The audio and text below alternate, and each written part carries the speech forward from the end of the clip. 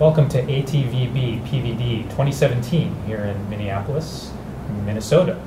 I'm Kiran Musunuru. I'm an associate professor of cardiovascular medicine and genetics at the Perelman School of Medicine at the University of Pennsylvania. It was my privilege this morning to participate along with these two gentlemen in a special plenary session on genome editing, and specifically the scientific, clinical, and ethical considerations around genome editing in the year 2017 as things stand now. As I said, we all had some fun this morning uh, participating in this session. We each gave our little talks and then followed it up with uh, a very interesting polling of the audience to get their opinions on some of the issues surrounding uh, genome editing uh, and the therapeutic implications of genome editing and even the possibility down the road of human germline genome editing. So I'm going to turn it over to each of these gentlemen to uh, describe their interest in genome editing and how it's impacting the work that they're doing in their laboratories. My name is Joe Miano. I'm a professor at the Aab Cardiovascular Research Institute at the University of Rochester in New York.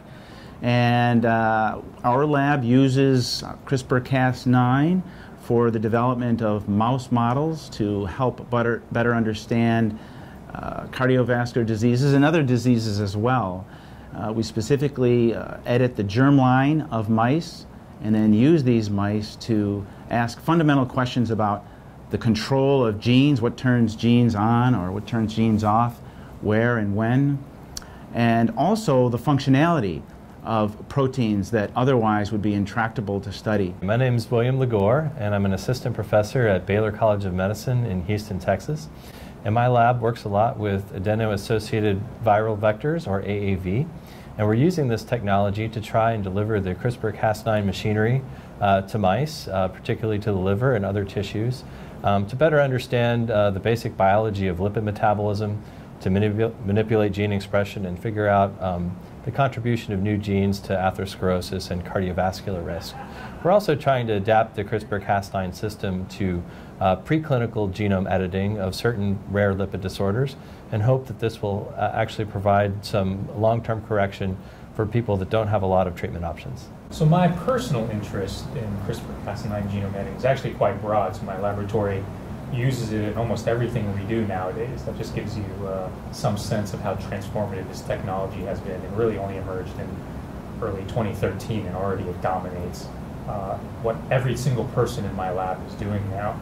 Certainly we're using it to answer a lot of scientific questions. My personal interest is in risk factors for cardiovascular disease and metabolic disease, so blood lipid traits, diabetes, and so forth.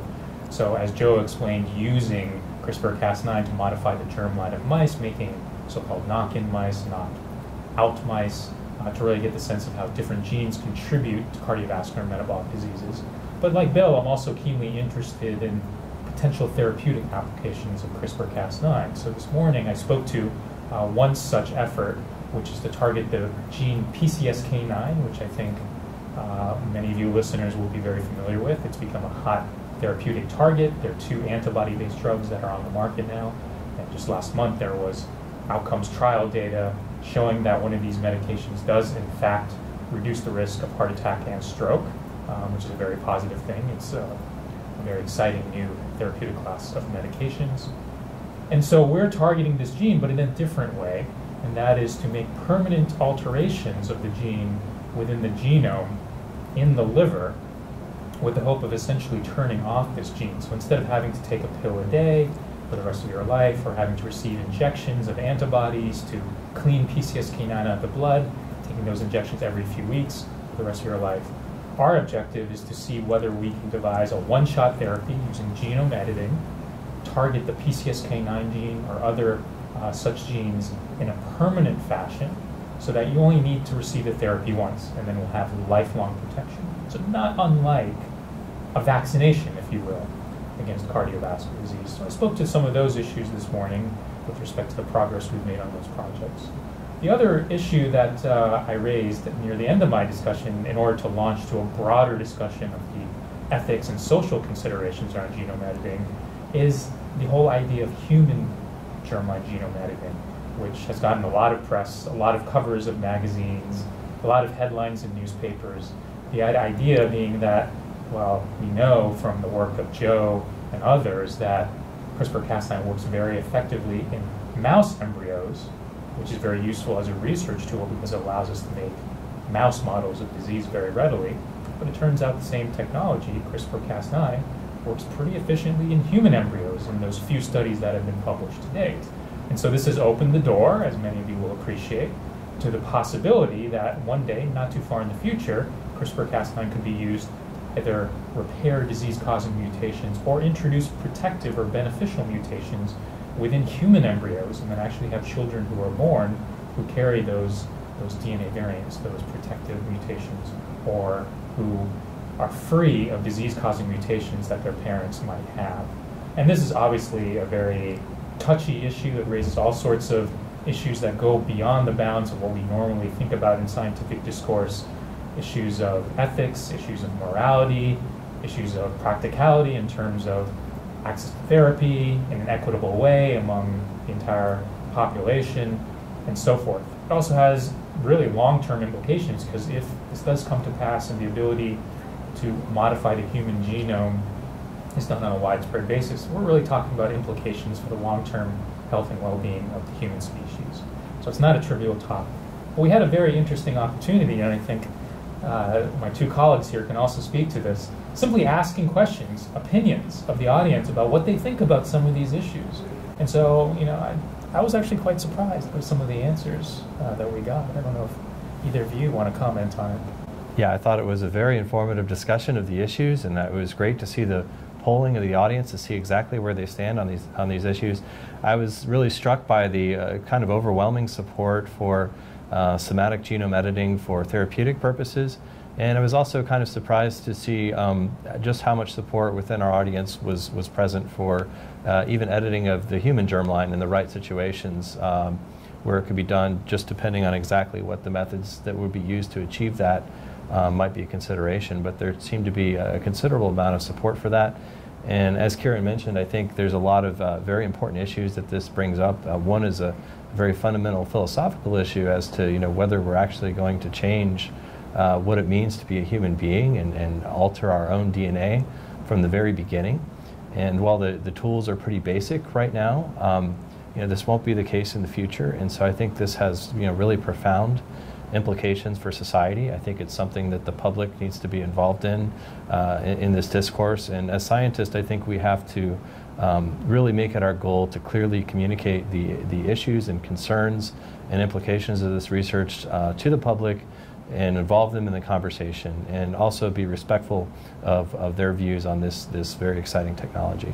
Yeah, so I quite agree. I thought this was uh, perhaps the most entertaining part of this morning's uh, session, having the audience uh, actively participate in answering some of the questions, these, these penetrating questions that we're confronted with and it's important that we have these discussions. The, the National Academies of Sciences, Engineering, and Medicine really call for, as a mandate, uh, public discourse uh, surrounding the use of CRISPR Cas9 genome editing in the context of somatic uh, therapies, as well as the more thorny issue of germline genome editing. And so, having uh, scientists sort of lead the, the way in this discussion will be pivotal uh, in, in educating the public and, and having them weigh in on these weighty issues uh, of, of fundamentally changing who we are and who the next generation of people will be. Um, are we in a position to make decisions for people who don't even exist yet? These are, these are deeply philosophical issues that need to be uh, discussed uh, in, in the public realm. In the public, we do need to respect the public, as Bill has said.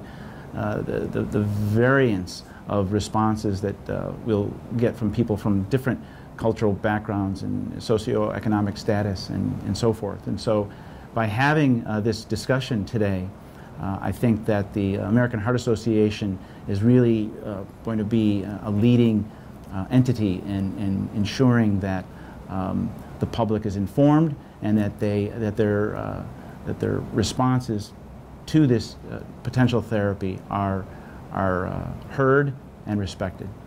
Yeah, so I want to I want to follow up on that and say I think this is a very important discourse that we were able to at least start this morning by engaging so many people in some of this thought process, and we actually had an audience of hundreds of people because it was an opening plenary session for the conference.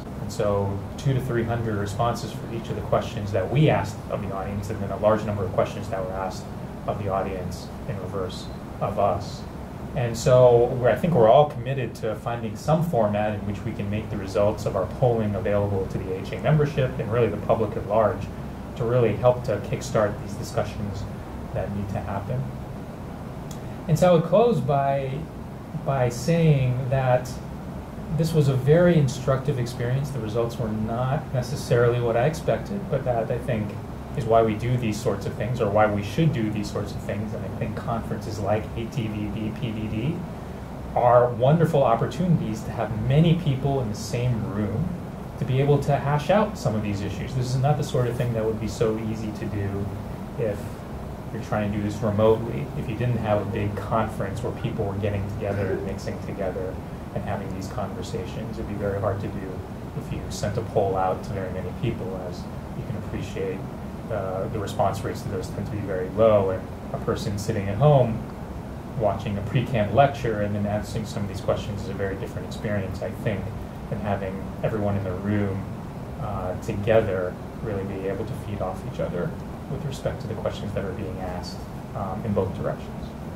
And perhaps I'll close by just uh, addressing a very interesting question that came up. So we're all very excited about CRISPR-Cas9 genome editing because not only does it underlie a lot of what we do in our laboratories, but it really does potentially feed into the HA mission, which is to reduce uh, the risk of cardiovascular diseases and stroke and keep people healthy of those, uh, healthy and free of those diseases in the long term. And I think both on the scientific side as well as potentially the therapeutic side, CRISPR-Cas9 is clearly going to have an important role to play. But one very interesting question that was asked of us by an audience member was, well, if you are able to eliminate cardiovascular disease, does that mean we're all going to die of cancer instead? And it's one of those fun things. I don't want to like trivialize it, but it's one of those fun, interesting theoretical exercises. In if we truly are successful in our mission, the AHA mission to which we're all firmly committed, uh, point of the matter is everyone's going to die of something. And you know, I close the session with uh, my observation that it's not necessarily the worst thing in the world to die of heart disease, but you want to do it when you're 100 years old. You want, don't want to do it when you're 50 or 60 years old. Mm. So the, the point is really not to necessarily entirely eliminate heart disease, but really to help people live free of heart disease and stroke for very long, fulfilling lives. And that's really uh, what I think CRISPR-Cas9 and other types of genome editing are going to allow us to do going forward. Thanks so much for listening.